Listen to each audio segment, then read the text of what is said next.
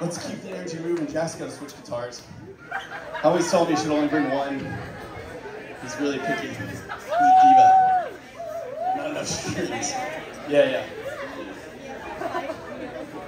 A big shout out to all the bands that are playing here tonight. I don't know if you guys recognize Matthew, but he was also uh, playing bass in Eight Phases. Yeah, I'm sweating my ass off up here. He's wearing a different outfit. Wardrobe change. Make matters worse, I got a I got a pretty gnarly sunburn from the Yeah. forts of the strap on my back.